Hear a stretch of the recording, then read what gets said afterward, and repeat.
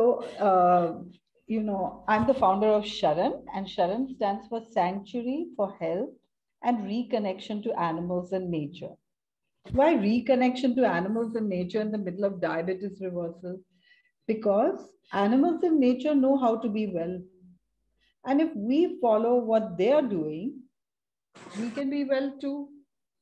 So that's the cue. Like, for example, if someone has diabetes, they go to the doctor and the doctors give them medicines. And we already know that nobody gets better that way, right? That's why we're all here. So, but in nature, animals rarely get diseases in the wild. And if they do, they know how to heal them. We are no less intelligent than them, right? Okay. So as uh, Abhinav said, Sharan's vision was a diabetes-free India, and now we have extended it much further because uh, anyone knows this, why would they want to be sick, right? So reversing diabetes, uh, this is my book, just in case you want to learn more, and it's available on Kindle as well, and it's not very expensive. So this is for you to have as a Bible, to learn more, read a bit, and even have the recipes in there. We also have other uh, things to support you, but this is something that if you're interested in knowing more, you could go for this. Now, the current approach when someone gets diabetes, and whether it's in the UK or US or no matter what, where, is that they go to the doctor and the doctor tells you not to have would anyone like to turn on their mic and tell me what does the doctor say? Cut the carbohydrate. Cut the carbohydrates, cut the sugars. Yeah. And we all do this to a large extent. Does anyone get well? Not really, Not. right? Yes. So, and then they give us medicines. and the medicines over a period of time spiral upwards. So the sad part is that medicines in general never cure, but the body always works to heal. Now, this is a video of someone who came for our 21 day health retreat. And in our 21 day health retreat, we do all the blood tests at the beginning. As people get better, we cut down medication and then we do all the blood tests at the end.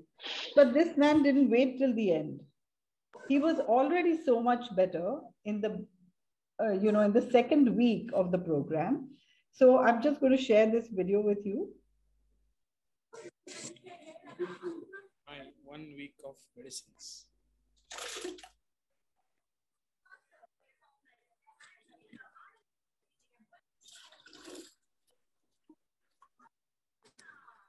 Okay. This man is Mr. Manohar Shetty. He's the owner of Sai Vishram Hotel. And the reason I'm telling you this is if anyone visits Bangalore, you can actually visit his restaurant, uh, which is called Prakruti Ahara, uh, or food made by nature.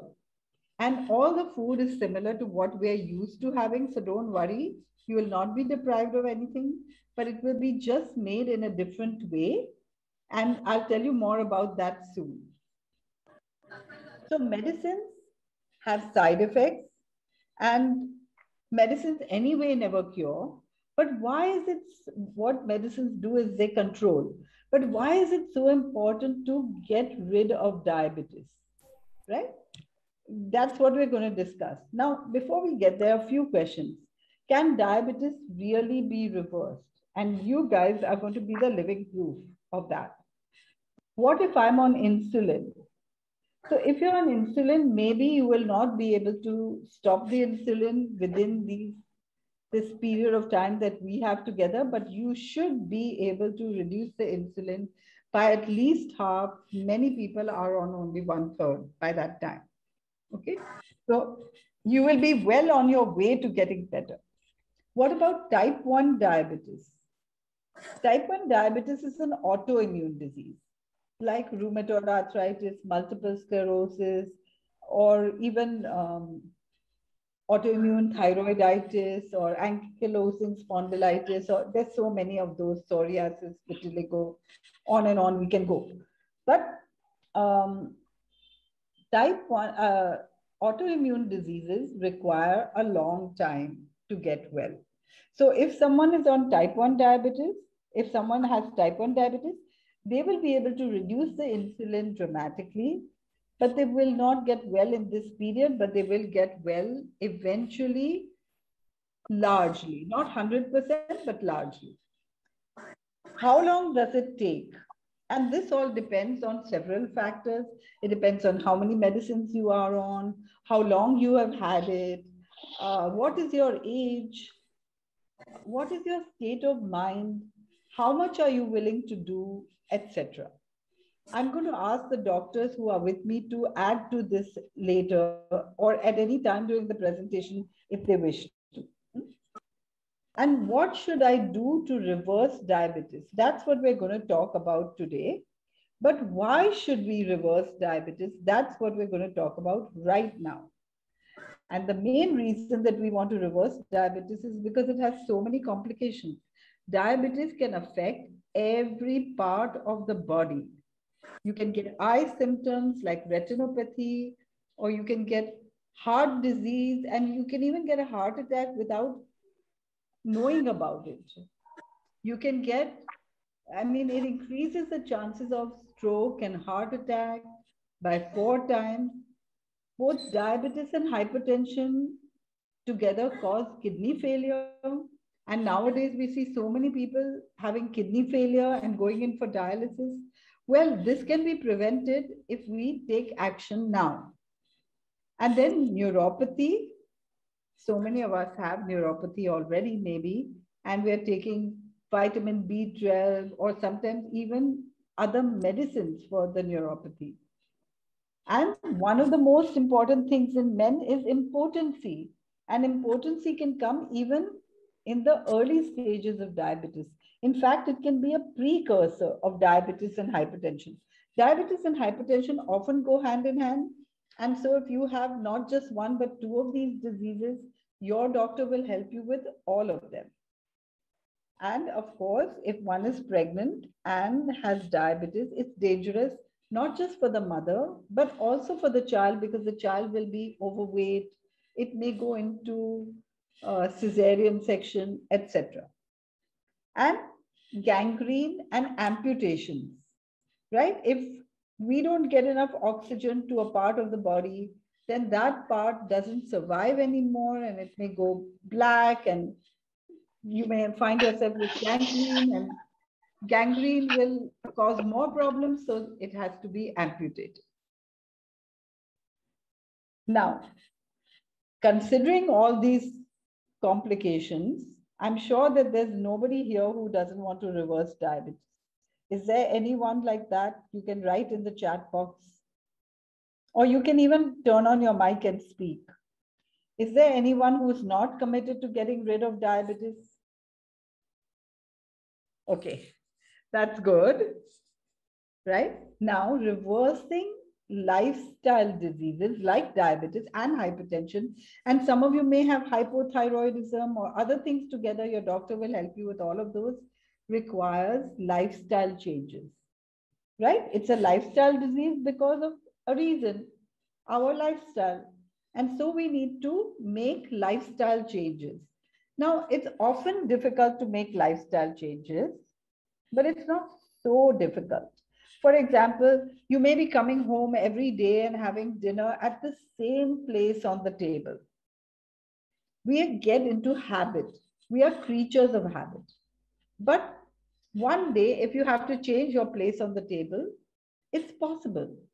So any change is difficult. Changing your country, changing your city, changing your job, changing your school, changing your partner, whatever you have to change is difficult.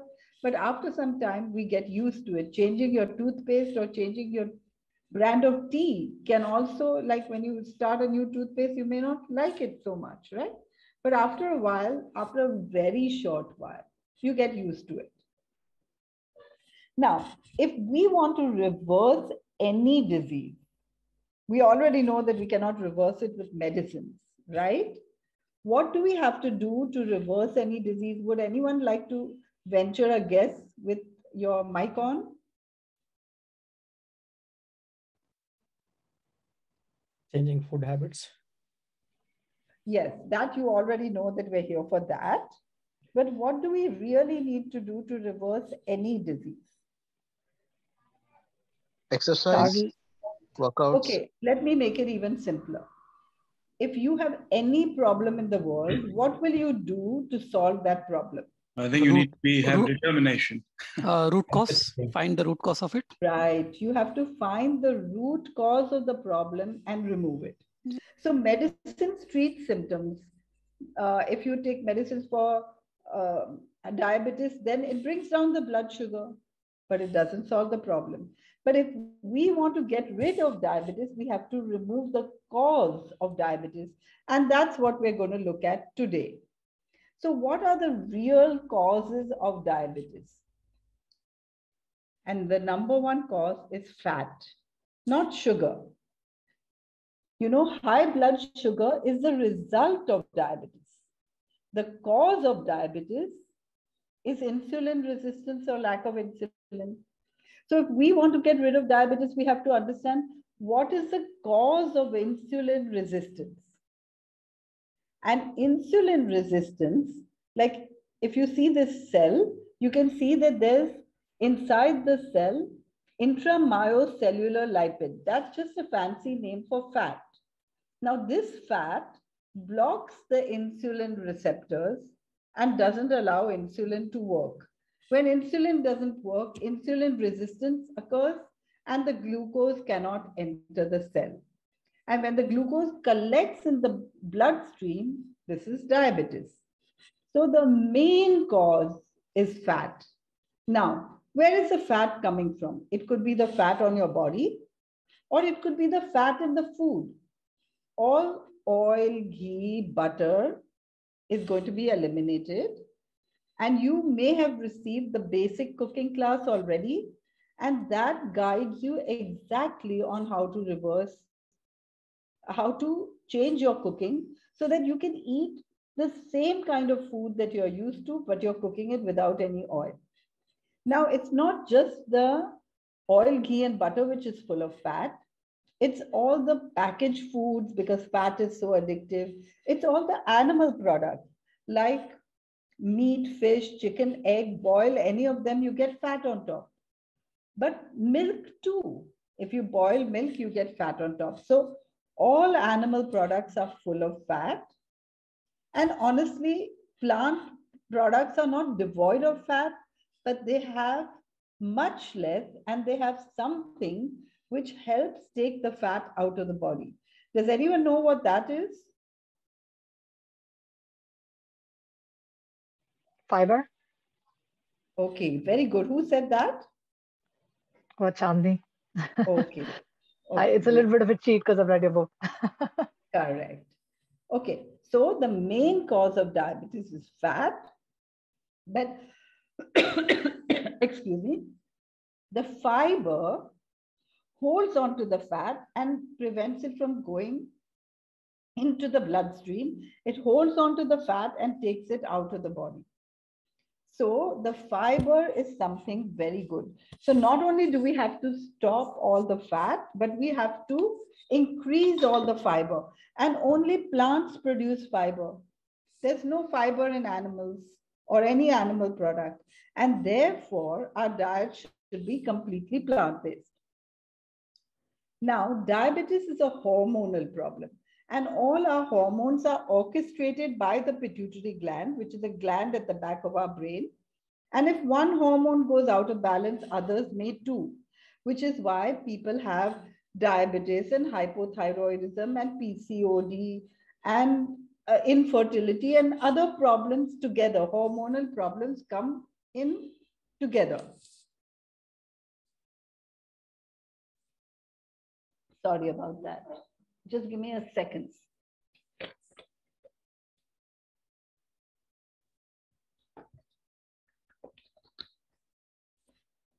Okay, And then chemicals, you must be knowing that chemicals are hormone disruptors. And so we are going to minimize the chemicals in our life. Actually, we are living in a world full of chemicals. And nowadays, the biggest chemical is the hand sanitizers, right? And then stress. Many of you know that when you're stressed, your blood sugars go up, but also that diabetes could have been caused by stress. You get a very severe stress, your blood sugar shoots up, the stress is gone, but your diabetes is not gone. This happens. And of course, someone mentioned lack exercise. So lack of exercise will help you accumulate that fat and lack of rest. Rest and exercise are equally important. Our body heals only during rest. So if we don't get those seven or eight hours of rest every day, a good sound sleep, then we are likely to get, we are likely to have higher blood sugar levels. And then lack of vitamin D. Vitamin D is also hormone, which is why we always ask you to get certain tests done, and vitamin D is one of them. And did you know that tea, coffee, colas, alcohol, and smoking all raise not just blood sugar, but also blood pressure? And therefore, we want to minimize them, actually stop them. Okay. But I don't want you to think that this is very hard. Your doctors are going to help you get rid of this without suffering from too many problems. Now, what are not the causes of diabetes that people believe are? Number one, fruit.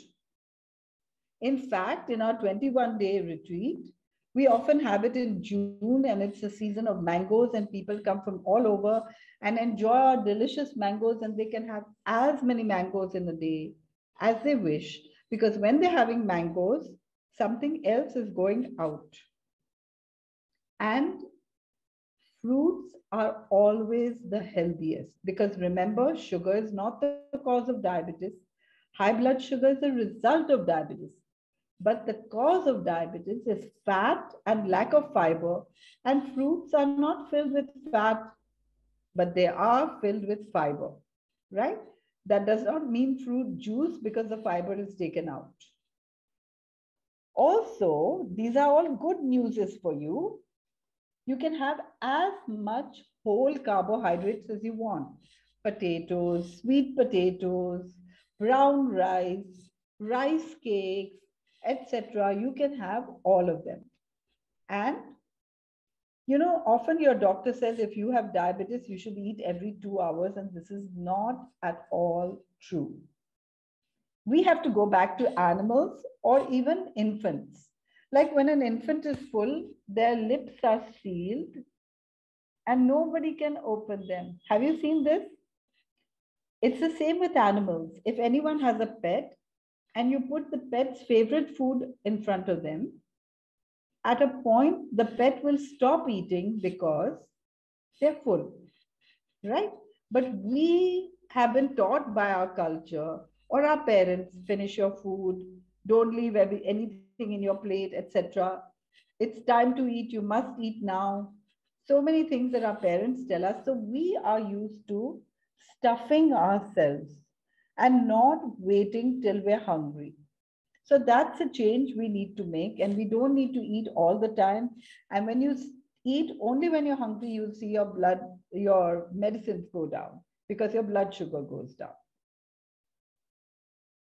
So now the good news is you can eat as much fruit as you want. So is that good news for anyone here? Tell me with your mic on. Absolutely. Yes, yeah, absolutely. Yeah. Okay, great. So we are going to have a lot of fun, right? And uh, milk. Like we've been brought up thinking milk is the best food for us. But if we think about it, in nature, every mammal produces milk only for their young, right? And no animal drinks another animal's milk. Pigs don't drink goat's milk, and monkeys don't drink elephant's milk. But milk contains the following factors that actually cause diabetes. Cause. Number one, fat. Milk is full of fat. And even that skim milk or 2% milk has fat in it, more fat than your orange or your fruit. Hormones. Milk is a natural secretion of a female mammal and it contains all kinds of hormones which upset our own hormonal balance and lend to diabetes. Pesticides, right? Because all those cows aren't eating organic food. And sometimes we're very careful to buy organic milk, but then we are having biscuits and ice cream, and nobody looks at whether that's organic or not, or cake, right? So when a cow has to eat 12 kilos of grain to produce one liter of milk, those pesticides are concentrated in the milk. And in India, at least, the ICMR, the Indian Council of Medical Research, has done studies on milk, 50,000 samples from all over India, and they found that milk contains 570 times the permissible levels of milk. 570 times the permissible levels of milk. Now, look, nobody checks the pesticide levels in milk most of the time. And so we don't know how much your milk has, but I can tell you one thing, India is exporting milk all over the world. So we don't know when we have, you know, milk globally, how much pesticide it actually has. But one thing we know that milk or all animal products contain more pesticide than any plants or uh, you know any fruits or vegetables and that's just because they are concentrated because they're higher on the food chain am i making sense to you guys Yeah. Yes, yes, yeah, yeah. okay. Yes. thank you for that and lack of fiber milk has no fiber and remember the fiber is going to help us remove the fat and on top of it one of the most important things is that milk contains stress hormones. When we are stressed, we produce adrenaline. When animals are stressed, they produce adrenaline. If you take, if you make a cow pregnant so that she'll produce milk, and then you tie her up and tie up her legs and start taking all the milk so that her baby cannot feed, she's very stressed. And she produces a lot of adrenaline, which comes in the milk. Now, if you all actually follow these guidelines for three months, you will see what a huge difference it makes in your state of mind. And that's what I want you to really experience. And then milk contains something called IGF, insulin like growth factor, which looks like insulin and it takes the place of insulin on the receptors. That means insulin is like a key that opens the receptor and allows the glucose into the cell where it's needed to give energy. But if instead, you know, have you ever put the wrong key in a lock? Then it doesn't open the lock, it doesn't come out, it blocks the, um, the keyhole and that's exactly what IGF does. It blocks up all those insulin receptors. And so you will see that if you stop dairy completely, blood sugars go down. Isn't that interesting? Because nobody tells you that. But if you do it, you will see it right away. Now, what is the logic behind this diet change? If you had a cow, you would feed it grass. Why do you feed it grass? because we know that instinctively cows choose grass. And just in the same way, lions choose meat, right? But when it comes to us, we think we're omnivores. We can eat anything. If you go to Africa, someone eats lions as well. So, what is the correct food for our species? If you go to a farm or an orchard and you see fruits and vegetables, Tell me with your mic on, what do you feel like doing?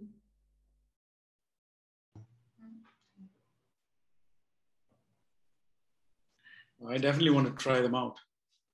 You feel like picking them, right? Yes. But if you see a chicken walk by, maybe at the same farm, or if you see a goat, or if you see a cow, Does your mouth water? No. Right. So you can see that instinctively we don't eat chicken. In fact, like true omnivores, we can't pounce on the chicken, tear it apart, and eat it whole. We truly can't eat these animals, right? But we have learned to eat them by cooking, and that's not natural. In nature, animals eat what they are instinctively attracted to, but we don't. Now, who's, who would salivate if they saw the chicken?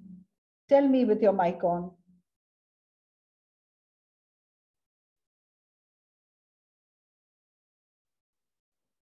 Okay, let me help you out here. Maybe a fox or a dog, right? Why? Because a fox or a dog can pounce on the chicken, tear it apart, and eat it whole. A fox or a dog can eat skin, bones, beak, claws, everything. In fact, if you go to Africa and you see if a lion has a kill, the lion or other animals will eat it all, and maybe only the cranium will be left, the skull. Besides that, every part of the body can be eaten. So we don't go to Africa and see skele whole skeletons of animals and the skin left there behind because animals eat their prey whole. Right? So a dog would salivate but we do salivate, maybe. I don't know if you're vegetarian or non vegetarian, but if you're non vegetarian, you may salivate if you see a dish like this. And this is only because of conditioning. We've been conditioned to have it. Now, in the same token, we have to understand that if you see green fields of wheat and rice growing in the village, does your mouth water? Tell me with your mic on. No. No.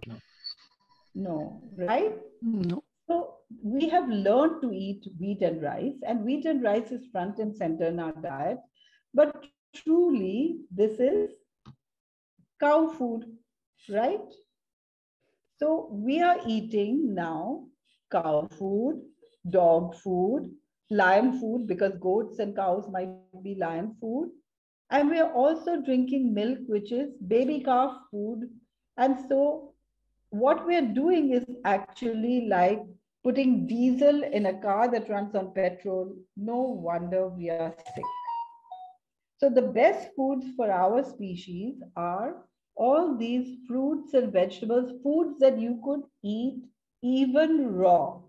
I'm not saying that we need to be completely raw to reverse diabetes, but raw, we all know, is the very best because it has the highest number of nutrients, and nutrients are the spare parts for healing. So we must have raw every day. Are you all hearing me well? Yes. Yeah. Yes. Yeah. Yeah. yeah. Great, great. Okay, now if you look at the teeth of a carnivore and you look at the teeth of herbivores, and you look at the teeth of true omnivores, and now if you look at our own teeth, it's already clear. We're not the omnivores that we thought we were. And we all know that every baby loves their mother's milk. They don't want to leave their mother's milk. But when you first give them cow's milk, they don't appreciate. So milk is a food that every mammal produces only for its young and we aren't cows and therefore we don't appreciate cow's milk. But milk is very addictive. So milk contains something called casomorphin, which addicts the baby to the mother. Baby doesn't want to leave the mother. But when we consume it, and especially if we consume it in concentrated forms like cheese or paneer or ice cream and so on, we know that it's very, very addictive, right? So many people don't want to leave cheese. And we are being manipulated all the time by advertisement. Advertisements tell us what to eat. And so I have a very easy formula for you. Look at everything that's advertised, make a list, and don't eat that. Because nobody is going to spend money advertising things that are already in our instinct. And that's why you don't have advertisements for carrots and cucumber every day. You might have a sale, but you don't have advertisements for fruits and vegetables day by day, right?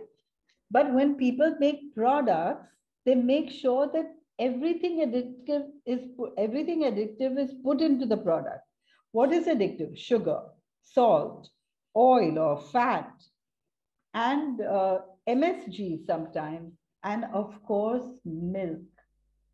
You can buy potato chips, and if you're in the UK, it's called crisps. You can buy crisps with milk powder in them, flavored crisps. Why do they put milk powder? So that it will be more addictive. So, what is our plan? All our food should be plant based. Second, all our food should be whole so that it contains a fiber so that it can help take out that fat. And even if you're thin, you still have fat inside the muscle cells because you've been eating fat all this time. And we are going to eat organic because we are the only species that sprays us with poison. So animals do it. And then we eat it. Isn't that crazy? So we're going to look for organic food. Now, I know I'm running out of time, and so I'm going to finish real quickly. But even if I take a little longer, your questions will become less, so it's worth it. Okay, so our body always heals, and we have a five point plan that everything should be plant based, whole, organic, and vitamin B12 and D should be looked after. Now, what will you get during the consultation? You will get a basic cooking class, which will teach you how to cook anything you want, dairy free and oil free. You will get guidance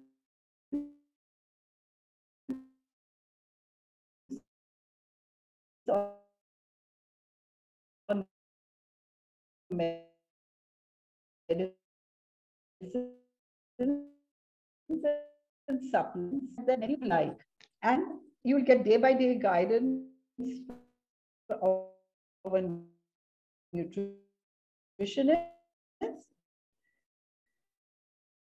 And, and you will get guidance not just on food, but also reversing disease requires a shift in consciousness because today we live in a culture of disease and we have to shift to a culture of health. And, that, that's what your doctors are going to help you do.